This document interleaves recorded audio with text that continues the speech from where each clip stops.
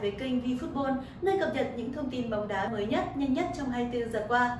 Và trước khi đến với nội dung chính, các bạn đừng quên bấm đăng ký kênh và nhấn nút chuông thông báo để cập nhật những thông tin mới nhất từ chúng tôi. Và sau đây là những nội dung chính có trong bản tin ngày hôm nay. PSG đồng ý đề nghị của MU cho Mbappe. Atalanta đạt thỏa thuận bán Hojlund cho MU Phát kiến của Ten Hag sẽ cứu rỗi Sancho. Không còn cánh cửa nào cho Martial. PSG đồng ý đề nghị của MU cho Mbappe. Theo phóng viên Raham Merced của Sky Sport News, MU là một trong những câu lạc bộ quan tâm đến việc ký hợp đồng với Kylian Mbappe.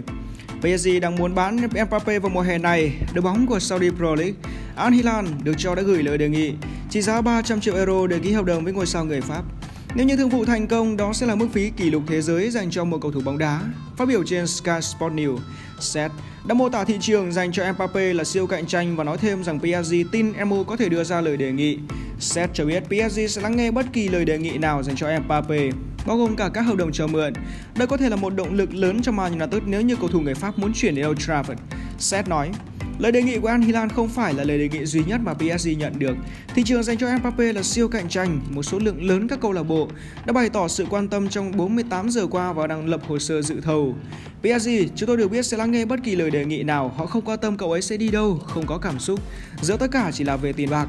Họ sẽ lắng nghe những lời đề nghị cho mượn, nhưng rõ ràng là họ muốn có một khoản phí chuyển nhượng lớn hơn. PSG tin rằng các câu lạc bộ quan tâm bao gồm Chelsea, MU, Tottenham, Inter Milan và Barcelona. Tất nhiên câu lạc bộ nào trong số đó có thể đến gần với lời đề nghị của Al Hilal, nhưng PSG đang nói là chúng tôi sẽ thắng lắng nghe bất cứ lời đề nghị nào. Có cảm giác rằng Real Madrid giờ đây có thể bị cám dỗ để đưa ra lời đề nghị. Nóng, Atalanta đã thỏa thuận bán Hozlen cho Emo. Trao đổi với cốt Upside, ký giả Fabrizio Romano đã mang đến những tiết lộ mới xoay quanh thương vụ đắt giá của Màn Đỏ. Theo tiết lộ từ Fabrizio Romano, MU đang chuẩn bị gửi đến Atalanta lời đề nghị chính thức đầu tiên dành cho Hozlen và họ sẽ nỗ lực để đạt được thỏa thuận chung với câu lạc bộ đến từ Serie A ngay trong tuần tới. Đáng chú ý là Romano khẳng định Atalanta cũng đã bắt đầu tìm kiếm phương án thay thế Hozlen bởi họ tin rằng mình sẽ tìm được tiếng nói chung với Man United, ký giả người Ý chia sẻ. MU là ứng viên sáng giá nhưng họ biết rằng mình cần phải nhanh chóng hoàn tất thương vụ này. Tuần tới sẽ là một giai đoạn thực sự quan trọng để thực hiện thỏa thuận. Cho đến nay thì mới chỉ có những cuộc thảo luận về việc có thể bao gồm những cầu thủ như Fred vào thỏa thuận hay không, nhưng sẽ sớm có lời đề nghị chính thức. Atalanta đã bắt đầu tìm người thay thế Hosland vì họ cảm thấy mình có thể đạt được thỏa thuận với Man Đỏ. Tôi không thể dự đoán liệu thương vụ này có được thực hiện trong tuần tới hay không, nhưng chắc chắn kế hoạch của MU là thúc đẩy mọi thứ trong tuần tới đây. Phát kiến của Ten Hag sẽ cứu rỗi Sancho. Mùa giải vừa qua thì Eric Ten Hag đã khiến giới chuyên môn đi từ bất ngờ này đến bất ngờ khác khi kéo Luxor và đá trung vệ, Bố trí Bruno đều từ tiền vệ lệch phải đến tiền vệ trụ hay Joao Westgott, một trung phong cao to đá số 10, cho nên nếu như ông thử nghiệm ra đến Sancho một chân chạy cánh thực thụ chơi vị trí số 9 ảo có lẽ không có gì quá bất ngờ. Những trận giao hữu vừa qua, ngôi sao người Anh luôn được Eric Ten Hag trao cơ hội ngay từ đầu dẫu không phải là tiền đạo cánh trái hay phải như sở trường của anh mà số 9 ảo. Tuy không có trận nào hay trận dở, nhưng màn trình diễn của cựu sao Borussia Dortmund trong trận đấu gặp Arsenal vừa qua là đáng khen với một pha lập công ấn định chiến thắng 2-0 cho Man United. Thực tế mùa vừa rồi Ten Hag thừng xếp Jadon Sancho đã vị trí số 10 và anh thể hiện khá tốt. Ai cũng biết cầu thủ số 23 tuổi vốn mạnh về khả năng đọc trận đấu, chọn vị trí, chuyền bóng và kỹ năng ghi bàn. Mùa vừa rồi những vị trí đá số 10 đã được phát huy được khả năng chuyền bóng, chạy chỗ rất tốt của mình. Với những phẩm chất đó nếu như phải nhô cao, tiếp cận khung thành nhiều hơn ở vai trò số 9 ảo là không thành vấn đề. Dù từ khi chơi cho Man đỏ thì Sancho không còn những pha bứt tốc làm nên thương hiệu tại Bundesliga, nhưng cơ bản anh vẫn nhanh nhẹn và xử lý bóng khéo léo nên trong phạm vi ngắn có thể chiêu cơ hội ghi bàn như trong trận đấu với Arsenal. Tuy nhiên, một khi Sancho chơi vị trí số 9 ảo sẽ phải thường xuyên đối mặt với những tiền vệ đánh chặn và trung vệ cao to, nhanh, khỏe của đối phương. Tới đây là điểm yếu về thể hình có thể khiến ngôi sao của Quỷ Đỏ gặp bất lợi. Điều này đã bộc lộ rõ ở mùa giải vừa qua khi Sancho hoàn toàn thất thế ở những cuộc cạnh tranh chấp tay đôi, cần sự ti đề và cản lướt.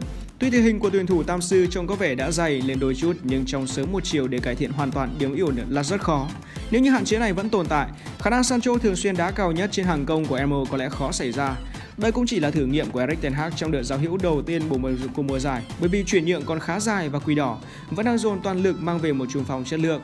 Nếu như trường hợp xấu nhất xảy ra thì Marco Rashford sẽ chơi cao nhất trên hàng công và khi đấy thì Jadon Sancho sẽ được chám vào vị trí tiền đạo trái hoặc phải, nơi phù hợp nhất với thế mạnh của anh. Điều này làm nên một chiến lược gia tài giỏi và sự sáng tạo không ngừng trong cách sử dụng nhân sự để mang đến tính linh hoạt và gây bất ngờ cho đối phương. Với Jadon Sancho đa số trí ảo, liệu Ten Hag có đi xa hơn mục đích thử nghiệm? Không còn cánh cửa nào cho Martial. Thi đấu kém ấn tượng và thường xuyên dính chấn thương, cầu thủ người Pháp đang dần trở thành người thừa tại sân Old Trafford. Có lẽ cổ động viên của Emo chưa thể quên khoảnh khắc Anthony Martial biến Martin Scatter thành gã hề, sau đó sút tu lưới Liverpool làm cầu trường Old Trafford như vỡ hòa. Đó là điểm nhấn đầu tiên của chân sút người Pháp tại xứ sương mù. Thế nhưng những gì tinh túy nhất dường như đã bị Martial bỏ lại ở mùa giải 2015-2016. Martial đã dính lời nguyền Golden Boy khi đa số các cầu thủ nhận danh hiệu cá nhân kể trên đều sa sút một cách thảm hại. Thực tế thì năm tháng Anthony Martial khoác áo MU gắn liền với những chấn thương. Sau gần 8 mùa, cầu thủ sinh năm 95 mới chỉ ra sân 196 trận tại Premier League, có số cực kỳ khiêm tốn. Mặt khác thì ngôi sao gốc Guadeloupe được biết đến là tiền đạo thi đấu ngẫu hứng, phụ thuộc vào tâm trạng cũng như cảm xúc cá nhân.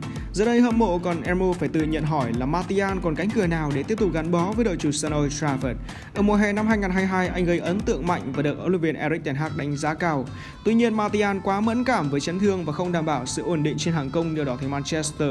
Trong tour thi đấu hè 2023, các tên Martial gần như đã chìm vào quên lãng. Ở các trận đấu gặp Leeds United, Lyon và mới đây nhất là Arsenal, cựu sao của AS Monaco đều không góp mặt. Ông Ten Hag cũng thoải mái thử nghiệm Jadon Sancho ở vị trí tiền đạo ảo, hoặc có thể kể đến là Joe Hugin và Nam Emeran, bộ đôi cầu thủ trẻ đang làm mưa làm gió trong khoảng thời gian qua. Theo The Atlantic, MU đã đạt thỏa thuận cá nhân với Haaland. Đây là cơ sở để tin rằng Martial sắp bị giao bán. Ban lãnh đạo của Quỷ Đỏ muốn đẩy đi các nhân tố không còn nằm trong kế hoạch để làm dày ngân sách chuyển nhượng. Thực tế thì sau khi hoàn tất hai thương vụ là Andre Onana và Mason Mount, Trung Phong là vị trí chủ chốt duy nhất còn lại mà MU hướng đến. Dù vậy sẽ lý tưởng hơn nếu như Man Đỏ mua thêm một trung vệ hoặc hậu vệ phải. Đến nay, chưa có bất kỳ cái tên nào gửi lời đề nghị hỏi mua Anthony Martial. Thế nhưng thật khó cho ngôi sao 27 tuổi khi khoảng thời gian ra sân của anh ít dần qua từng mùa. Đó có lẽ là ngày Anthony Martial chia tay Sir Trafford chỉ còn là vấn đề thời gian. Đấy cũng là phương án tốt nhất cho cả quỷ đỏ lẫn tuyển thủ Pháp. Nếu như Man đỏ hoàn tất thương vụ chiêu mộ Haaland, cơ hội để Anthony Martial ra sân coi như chấm hết.